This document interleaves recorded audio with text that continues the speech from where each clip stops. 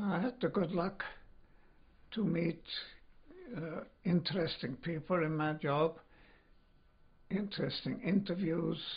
The Americans did a series called Wisdom series, NBC, which uh, first I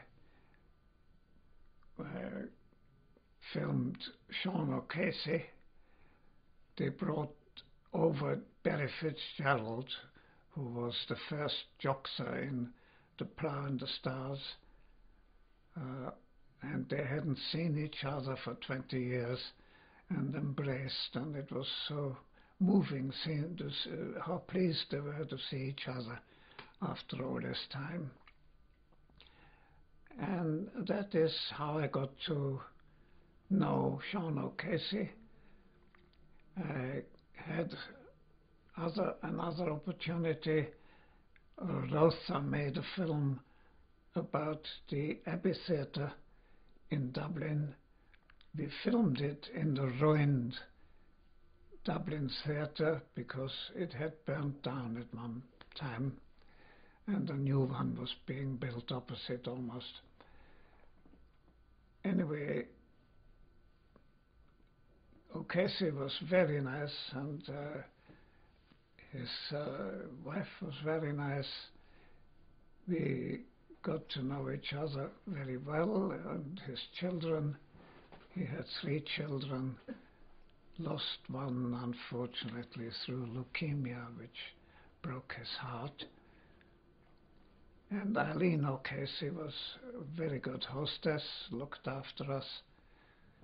And I kept up the friendship, went to photograph him several times, have a nice picture of my daughter sitting on the lap of O'Casey when she was about 12 maybe. Uh, well, he was one, certainly one of the highlights of my career to get to know him. In 1939, I was asked by a weekly journal, a rival to Picture Post called Illustrated, to photograph uh, photograph H.G. Wells in his home overlooking Regent's Park.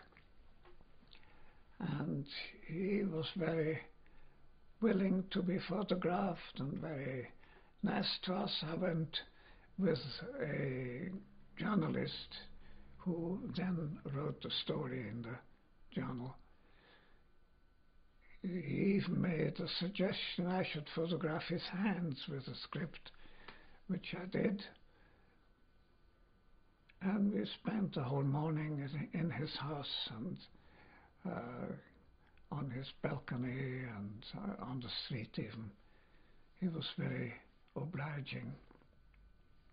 Other important people I came across was Fleming, the discoverer, discoverer of penicillin. Alexander Fleming, he wasn't a sir yet. We made a film about penicillin. And uh, the group of people who developed it made it possible that it was produced on a, mar- mar- on a large scale. The people involved were Leo Chain, Dr. Chain, who was one uh, uh, an outstanding chemist, and I think he shared the Nobel Prize. And uh, the Oxford five people who analyzed penicillin and I was able to take a group of the five in the professor's uh, office, which is now in the National Portrait Gallery, among other things I have taken.